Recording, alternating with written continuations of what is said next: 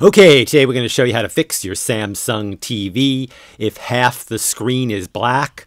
Uh, this fix will also work if the screen is completely black as well. We're going to show you several methods uh, for fixing this problem. Um, if you stay with us all the way to the end of the video and try each of these methods, uh, there is a very high probability that uh, this problem will be solved for you. Okay, the first thing to try here is really the simplest, and in most cases this one will actually work so you might not even need to go on. Uh, just basically unplug your TV from the wall wait about 60 seconds. Now, don't be impatient here. Wait the 60 seconds and then plug it back in. This will reset your TV. Now, this is a lot different than switching the remote on and off, so do do it from the wall plug. Um, if this solves your problem, you're set.